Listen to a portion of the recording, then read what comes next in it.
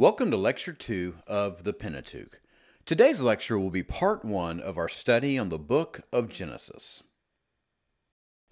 Let's begin by discussing the author of the book of Genesis, Moses. According to Deuteronomy chapter 34 verse 7, Moses lived for approximately 120 years. For 40 years he lived in Egypt as the son of Pharaoh's daughter. For another 40 years he lived in the desert of Midian as a shepherd. And the final 40 years of Moses' life were wandering in the Sinai wilderness with the children of Israel. This means that he most likely wrote these books in the last 40 years of his life, around 1445 to 1405 BC. The theme for the book of Genesis is the beginning of the world, the human race, and the nations. Interestingly, the word Genesis is Greek, which means beginning. Now, the Hebrew title for this book is Bereshit, which means in the beginning. Now let's begin by looking at Roman numeral 1. God creates everything ex nihilo, or out of nothing. Now, before we actually jump into Genesis chapter 1 and Genesis chapter 2, let's discuss the three theories concerning the meaning of the word day in Genesis 1 and 2. The first theory is known as the geological day theory. This theory believes that the Hebrew word yom is used figuratively to represent each geological age or stage in the creative process. Therefore, they would see day one of creation consisting of millions of years, day two consisting of millions of years, and so forth. The second theory is known as the revelational day theory. This theory believes that the Hebrew word yom is used to explain how many days God used to describe to Moses the mystery of how he had brought creation into being and the stages by which he did so. And the third and final theory is known as the literal day theory. This theory believes that the Hebrew word yom represents a literal 24 hour day in Genesis 1 verse 3 all the way through Genesis 2 verse 3. There are four primary evidences that are used to support the literal day theory. The first is letter A. Each day is said to include the evening and the morning. Anytime the evening and the morning are used in Scripture, it denotes a 24 hour period of time. Secondly, every time yom or day is used in Hebrew with a numerical adjective, it always refers to a literal 24 hour day. Now, to further explain that, the numerical adjective first, second, third, and so on before the word day refers to a literal 24 hour period of time. Thirdly, the Lord parallels the law of the Sabbath to the days of creation in Exodus 20, verses 8 through 11. Now, if these days were just long periods of time, then it would not make sense for the Lord to have established that guideline. In other words, if the Lord worked for six long periods of time or millions of years, but then rested for one long period of time or millions of years, then it would not make sense for the Lord to tell us to model our rest after His. That would mean we would work for millions of years and then rest for millions of years. But that is not what Moses told the people. He told them to work for six literal days and then rest for one literal 24 hour period. And lastly, the symbiotic relations between God's creations necessitates the literal day view. For instance, the plants being created on the third day could not have survived a geological age or millions of years until the insects were created in day six. Without their help for pollination, they would have all withered away. Now that we've looked at the different theories of the meaning of the word day in Genesis 1 and 2, let's jump into the actual text of Genesis 1. Letter B. The universe is created in six separate days. Number 1. The triunity of God is introduced. Genesis chapter 1 verse 1 says, "In the beginning God created the heavens and the earth." An interesting thing to make note of is that the word God in the Hebrew is the plural Elohim, but created is in the singular. This demonstrates God's unity or triunity. Also, make note that the word heaven here is in the plural, so it should be translated as heavens, which would refer to all aspects of heaven, the abode of God, and the entire universe. Verse 2 says, And the earth was without form and void, and darkness was upon the face of the deep, and the Spirit of God moved upon the face of the waters. Now, many interpret this just to mean that the earth was without shape and empty because it was at the beginning of God's creative work. This verse also shows us explicitly that God the Spirit was instrumental in creation and cared for his creation by the use of the word moved in the Hebrew, which gives the connotation of a mother hovering over her young. But what about Jesus? God the Father and God the Spirit are explicitly mentioned here, but what about God the Son? Thankfully, John chapter 1 verses 1 through 3, Colossians chapter 1 verse 16, and Hebrews 1 1 all explicitly teach that God the Son was instrumental in the creation of the universe. Secondly, God creates light on the first day. God sees that the light is good and calls the light day, and the darkness he calls night. Technically, darkness is created first and then light. That is why Jews begin their day at sundown, because what came first was the evening and then the morning. On the second day, God creates an expanse between the waters above and the waters below. This was apparently a water vapor canopy that God used to create a greenhouse effect, allowing for a tropical climate worldwide, and may account for the longevity of life recorded in Genesis chapter 5. After this water came upon the earth at the flood, then the days of man were shortened. Interestingly, this is the only day in which God does not say it was good. Some have surmised that this is on account of God's foreknowledge of the events of the flood and the devastation and death it would cause. On the third day, God creates the seas, land, and vegetation. God calls the dry ground earth and the gathered waters seas. Concerning the vegetation, Moses records that each plant produced seed after its kind. This would be in juxtaposition to evolution's claim that all evolved from each other. Then in verse 12, it tells us that the vegetation had seed in itself, which further shows us that the plants were created with maturity. In other words, what came first, the chicken or the egg? Obviously the chicken, just as we will see that both animals and man were created full grown. On the fourth day, God creates the sun, the moon, and the stars. The stars were made for signs and for seasons and for days and for years.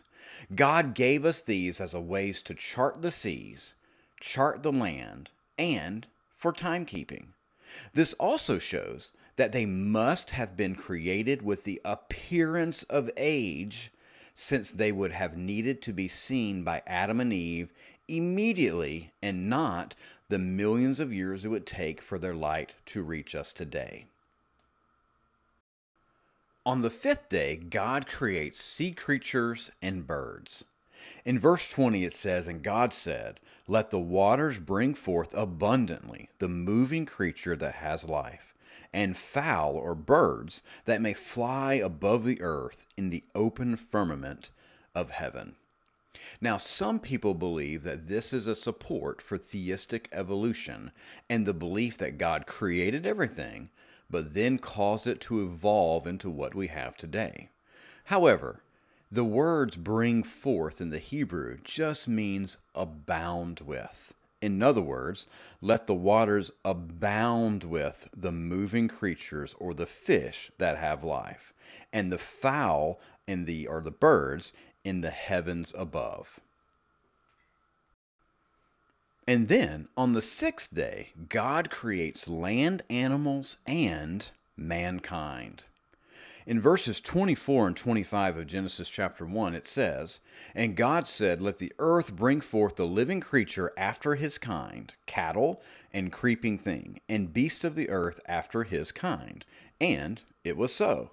And God made the beasts of the earth after his kind, and cattle after their kind, and everything that creepeth on the earth after his kind. And God saw that it was good.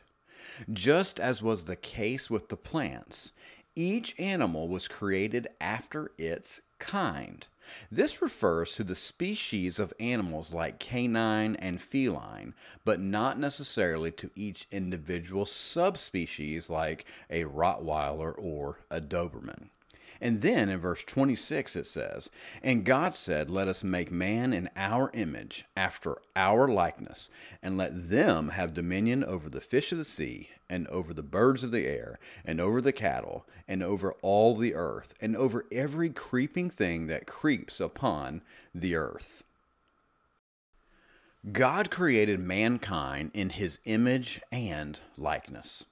All other creatures were created after their kind. But man is made in the image of his creator. Now, there are various interpretations of what image and likeness mean. The first is that some see this as a reference to the trichotomy of man, or the belief that man is three parts body, soul, and spirit, that would thereby correspond with the three persons of the Godhead. The second view is that according to Ephesians 4, verse 24, some believe that this refers to man's being created with knowledge and holiness.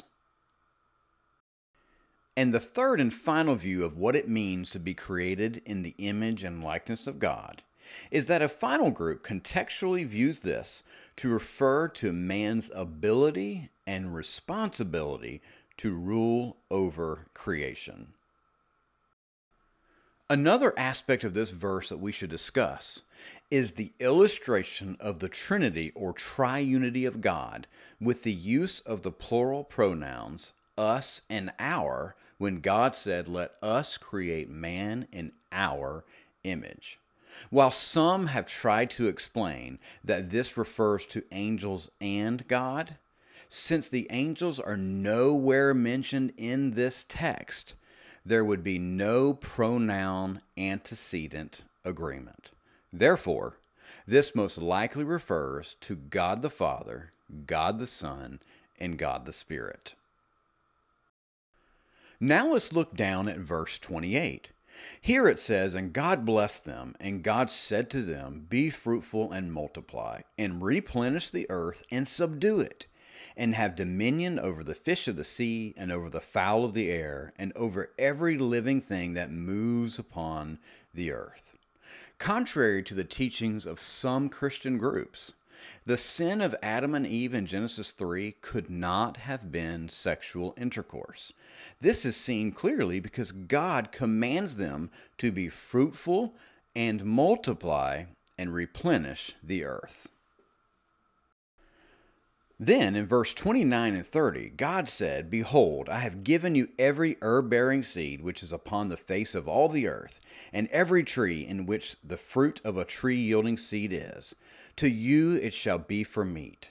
And to every beast of the earth, and to every bird of the air, and to everything that creeps upon the earth wherein there is life, I have given every green herb for meat. And it was so. In these two verses, the word meat just means food. This demonstrates that mankind was at first vegetarians, and so were all the animals too. However, this will change after the flood of Genesis 9 and verse 13. And the final verse to look at under this section is verse 31, where God saw everything that he had made, and behold, it was very good. And the evening and the morning were the sixth day. At the end of God's creative work, he declared that everything was very good. This is often used as evidence that Lucifer and his angels could not have fallen yet, because that would not have been seen as very good. So then, letter C. On the seventh day, God rests. Genesis chapter 2, verse 1 says, Thus the heavens and the earth were finished, and all the host of them. Everything God wanted to create was completed, including all the hosts or the angels. So then, on which day were angels created? According to Job chapter 38, verses 4 through 7, angels were most likely created on the first day of creation, as referenced in Genesis 1, verse 1, because Job declared that the angels shouted for joy when the foundations of the earth were laid, which is most likely a reference to day 3 of creation. Therefore, heavens in Genesis 1 1 would also include all those in God's abode which would include the angels. Now let's look at letter D. In Genesis chapter 2, the sixth day of creation is detailed further. First, we discover that there was an ecological irrigation system instead of rain. Every plant God needed for the earth was created at once, and every plant was created growing or grown on day three. Now, not only had it not rained on the earth and God had his own form of irrigation, but man had not yet been created to take care of the land and its crops. This helps demonstrate that the penalty of the fall was not work, it was harder work because of the ground's change. Secondly, God creates man from the dirt. Chapter 2, verse 7 of Genesis says, And the Lord God formed man of the dust of the ground and breathed into his nostrils the breath of life, and man became a living soul. The word formed implies a personal interaction with the Creator. The same verb is actually used in Jeremiah chapter 18 verse 2 to reference the potter's making of the vessel of clay. Adam was not spoken into existence like other parts of creation. He was specially crafted by the great potter. And then thirdly, we discover that God plants a garden in Eden. Now, Eden was most likely in Mesopotamia or a place modern day called Iraq. Genesis chapter 2 verse 9 says, And out of the ground made the Lord God to grow every tree that is pleasant to the sight and good for food.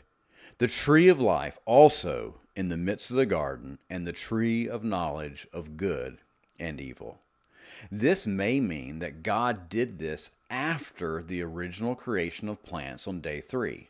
And God then created these plants for the Garden of Eden on day six for his special creation.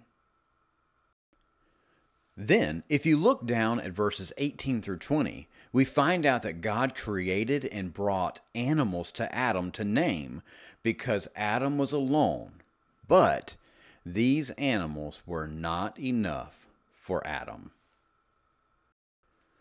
That is why, in verses 21 through 25, God created a woman from Adam's side, and this served as an example of marriage and separation from our parents. God also comments that they were both naked, but unashamed. This is called foreshadowing. Which brings us perfectly to Roman numeral 2. Adam and Eve disobeyed God. Letter A. The serpent tempts Adam and Eve. The serpent was said to be subtle and clever. While at first read, this may appear to just be an animal's interaction with woman. However, Revelation chapter 12 verse 9 and Revelation 20 verse 2 explains that the old serpent was none other than Lucifer himself, but no doubt possessing this animal. Lucifer begins the temptation by questioning what God commanded. And Eve responds by saying that they could not eat nor touch the fruit. Now, touch may refer to have consumption and not just a misunderstanding on Eve's part concerning the command. The serpent responded by explaining that she would not die, but would become more intelligent like God Himself. In response to this, Eve recognized the visual appeal of the fruit, which, by the way, it was not an apple, but most likely an unknown fruit to us, since it was the only one of its kind. Then Eve eats the fruit and gives to Adam, who was also with her. Adam and Eve's immediate reaction was recognition of their nakedness and attempt to cover it up with leaves. But, letter B, God confronts Adam and Eve concerning their sin. Genesis chapter 3 verse 8 says, And they heard the sound of the Lord God walking in the garden in the cool of the day, and the man and his wife, or Adam and Eve, hid themselves from the presence of the Lord God among the trees of the garden. When Adam and Eve heard the Lord coming, they hid, and God asked for them to show themselves. Once God asked them how they knew they were naked, they began playing the blame game. Adam blamed Eve, Eve blamed the serpent, and of course the serpent was not able to respond. So, letter C, God curses the serpent, Lucifer, women, the ground, and men. The serpent was cursed to be a ground crawler and to eat dust. Apparently, snakes used to be upright in some way, and ironically, a snake sticks its tongue out to taste the air in order to find its prey. Interestingly, evolutionary scientists do believe that snakes used to have legs, but they just lost them. The Bible gives another explanation of this thousands of years before scientists would have even discovered it. But not only did the serpent get cursed, the power behind the serpent was cursed with an ultimate head wound that would be fulfilled by Christ on the cross. And this was in response to wounding the heel or the foot of woman. Then Eve was cursed with multiplied pain in childbearing, multiplied conception itself, which means that apparently it was not as easy for a woman to get pregnant before the fall. This implies that even a woman's menstrual cycle was different before then.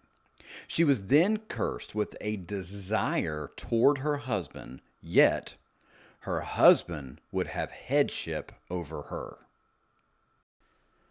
Now, there are three main interpretations of what this word desire means in reference to Eve's cursing. The first is that it may be a physical or sexual desire toward her husband that would cause her to forget about the potential pain associated with getting pregnant.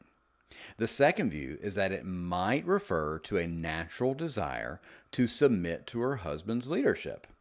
Or thirdly, it may imply a desire not to submit to her husband on account of the fall. And finally, Adam and indirectly the ground are cursed with thorns and thistles, so that it will be much harder to work the ground, but he will have to do so in order to eat until the day he dies. This is when, according to Genesis 3, verses 20 and 21, Adam names his wife Eve, which means life or living, and then God offers the first sacrifice and eventually the last sacrifice in Jesus, and then places the animal skins upon them. And finally, letter D God expels Adam and Eve from the garden. To keep Adam and Eve from partaking of the tree of life, God expelled them and placed a cherubim with a flaming sword to guard the tree. I believe that this was for their protection, since eternal physical life in a decaying body would be horrific if they were to re enter the garden and eat of the tree of life. And that brings us to the end of Lecture 2, where we covered Part 1 of the book of Genesis.